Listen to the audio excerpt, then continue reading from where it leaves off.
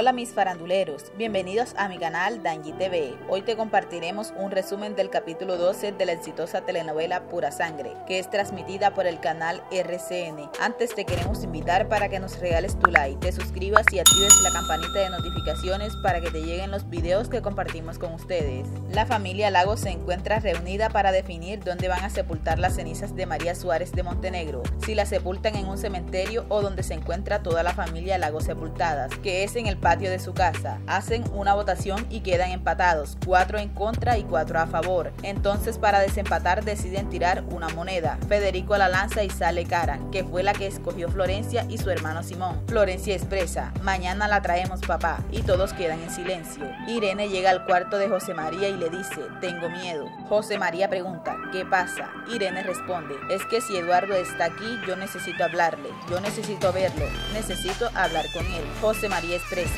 Irene, en este juego no necesitas las fuerzas, sino inteligencia y mucha paciencia. Irene dice, yo necesito verlo, necesito hablar con él. José María pregunta, ¿ese es el movimiento que quieres hacer? Irene responde, claro, Eduardo es la única persona que me puede ayudar a salir de aquí. José María pregunta, ¿estás segura de que esa es la buena jugada? Irene expresa que sí, y José María le dice, entonces te voy a ayudar. Azucena le dice a Isidro, yo todo el tiempo pensaba, esto no puede ser verdad, pero pero como usted no abría la boca, Isidro responde, bueno, pero ya entendió por qué no podía decirle nada. Azucena manifiesta, sí, eso sí lo entendí. Lo que no entiendo es por qué nos debemos quedar a vivir aquí. Isidro dice, ay Azucena, ¿y a dónde nos vamos a ir a vivir? Azucena responde, lejos Isidro. Lo que va a hacer Eduardo podrá ser muy justo y todo lo que usted quiera, pero es muy feo. Lucía tiene un percance en la habitación donde se encuentra y sale en busca de Simón para que la ayude. Ella abre una de las puertas de la casa de los cuartos de los lagos y ve a Paulina y a Renato haciendo el amor. Camilo se encuentra insultando a Isidro y en ese momento llega Florencia y le dice a su hermano, tú puedes tener todas las sospechas que quieras, pero en esta casa las cosas no se arreglan a los golpes. Camilo contesta, Florencia, esto no es asunto tuyo. Florencia expresa, sí es asunto mío,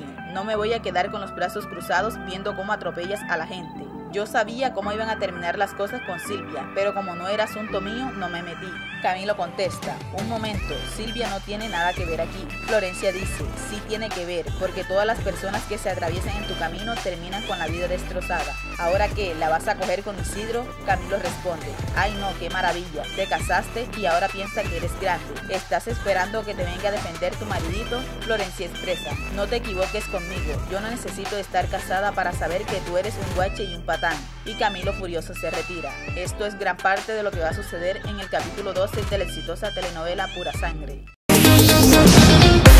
Mis faranduleros, hemos llegado al final de este video. Si te gusta este tipo de contenidos, no olvides regalarnos tu like, suscribirte y activar la campanita de notificaciones para más contenidos.